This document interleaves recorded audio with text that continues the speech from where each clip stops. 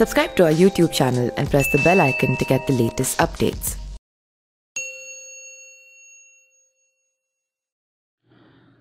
जनसत्ता दल लोकतांत्रिक पार्टी के राष्ट्रीय अध्यक्ष और कुंडा के बाहुबली विधायक रघुराज प्रताप सिंह उर्फ़ राजा भैया की पार्टी का प्रतापगढ़ में दबदबा अभी भी कायम है।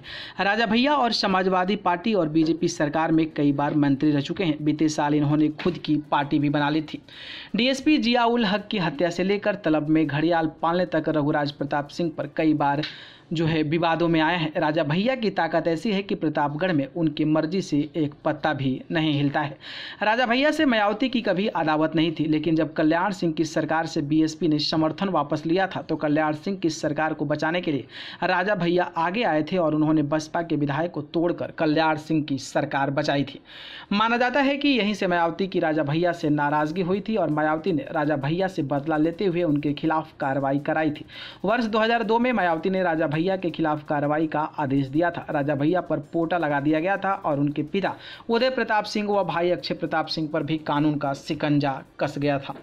राजा भैया के पिता की आवाज़ पर पुलिस ने छापेमारी की थी। वर्ष 2010 में भी मायावती की सरकार थी और पंचायत चुनाव में प्रतापगढ़ के एक प्रत्याशी की हत्या का प्रयास किया गया था, जिसका आरोपी राजा भैया को बनाया गया था और उन्हें साल भर जेल में बंद रहना पड़ा था। वर्ष 2012 में जब सपा की सरकार बनी, तब जाकर राजा भैया पर से पोटा हटाया गया।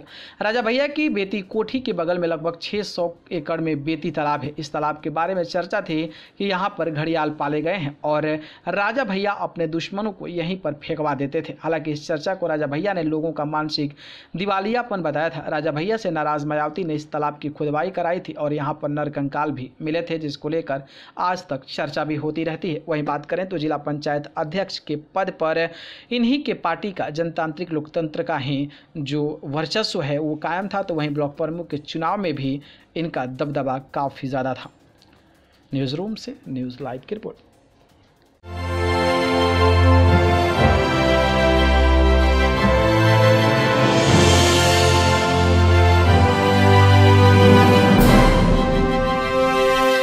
Subscribe to our YouTube channel and press the bell icon to get the latest updates.